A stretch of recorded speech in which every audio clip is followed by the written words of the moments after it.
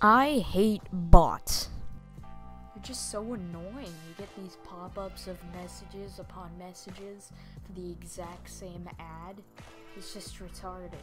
Not even the fact that it's an ad anyway. It's most likely a scam, and that's what the most annoying part is. It's just stupid. I've had this one conversation with a bot that I took screenshots of, so we can observe these bots. You should probably just block them if you see them. Hey!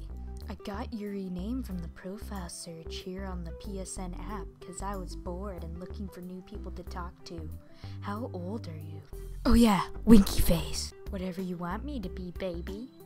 Winky Face. 22. F. What you doing?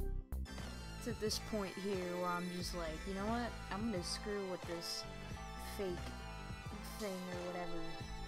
The bot.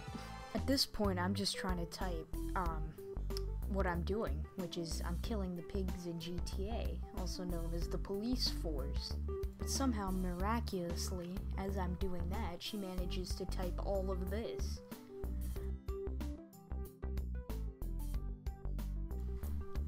I was actually gonna get to work here shortly. My one friend was working online and I kept asking her about it, so she showed me what she was doing when she got, got back to school last fall. I thought she was crazy at first, but it's pretty cool actually. We work online doing private webcam shows. Ooh boy, another way to steal my credit card information. So they pretty much get you here by what they do is they um, they make you sign up for this like account or whatever on the website and it asks for your credit card information and then boom they got it i've gotten messages on xbox at least like 20 times from all this freaking dumbass people. It's so annoying but whatever. On playstation that was like my second time. I haven't actually gotten it on playstation very much but whatever.